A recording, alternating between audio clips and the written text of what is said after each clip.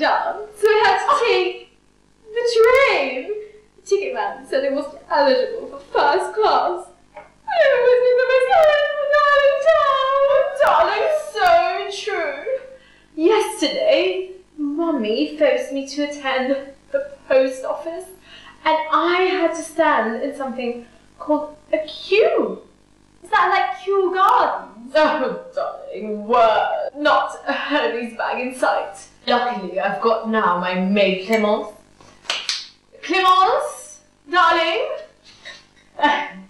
Merci Clémence, vous êtes un magnifique cheval. oh my god, oh my god, oh my god. You like speak German? Oh darling, it's actually La Française.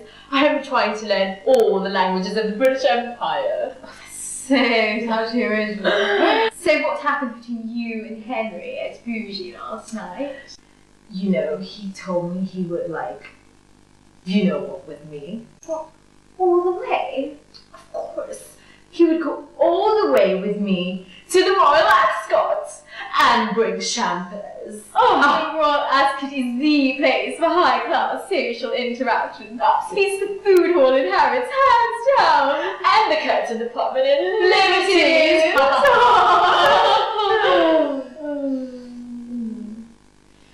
So have you been doing any country reading? Yeah, I've been reading this.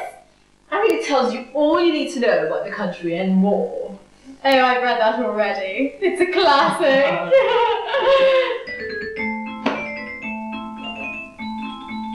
yeah. What? What?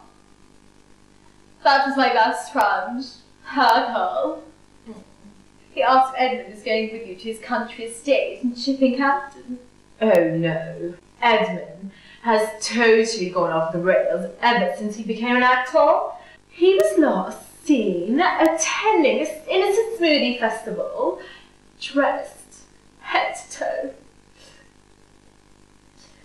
H&M. Oh, that is